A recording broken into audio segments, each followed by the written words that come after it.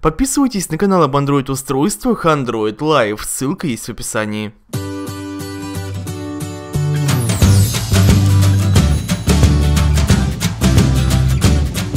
Привет, интернет, с вами Илья, и это обзоры девайсов на канале Игры День. Сегодня мы посмотрим отличный смартфон ZTE Blade X3. Поехали! Ребят, я до сегодняшнего дня думал, что бюджетный телефон никак не может быть удобным, и в любом случае придется мучиться, чтобы хоть как-то его использовать. И знаете, я все-таки ошибался. Перед нами смартфон ZTE Blade X3, и сразу скажу, что девайс стоит порядка 9000 рублей, но при этом телефон реально очень здорово работает. Я думаю, мы торопиться не будем и начнем с комплектации. В коробке здесь лежал сам телефон, адаптер питания, USB кабель и кабель OTG. В общем, ничего лишнего не было, да и в целом больше ничего не нужно. По внешнему виду телефон, на мой взгляд, симпатичный, а особенно меня радуют нижние кнопки. По идее, это стиль компании, и во многих девайсах именно так все это дело выглядит.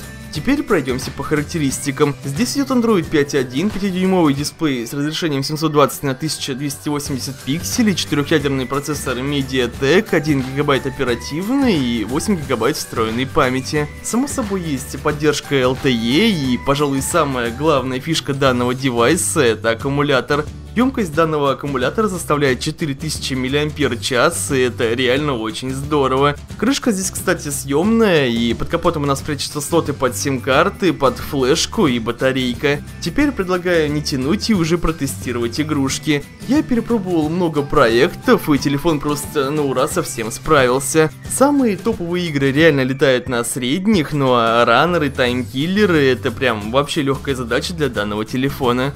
Что касаемо вообще обычной работы, никаких лагов, подвисаний и прочего здесь нет. Я достаточно долго телефоном уже пользуюсь и никаких траблов не обнаружил. Видяхи на YouTube смотреть одно удовольствие, и то же самое можно сказать про серфинг в интернете. Здесь довольно большой экран, так что с этим все окей. По качеству связи, динамику и микрофону тоже можно только похвалить, при разговоре никаких проблем и слышимость прекрасная. Что касаемо камер, я сделал пару кадров и прямо сейчас вы их можете можете наблюдать. Качество, скажем так, среднее, но думаю для бюджетников в самый раз. Вообще, если честно, то язык не поворачивается данный девайс называть бюджетником.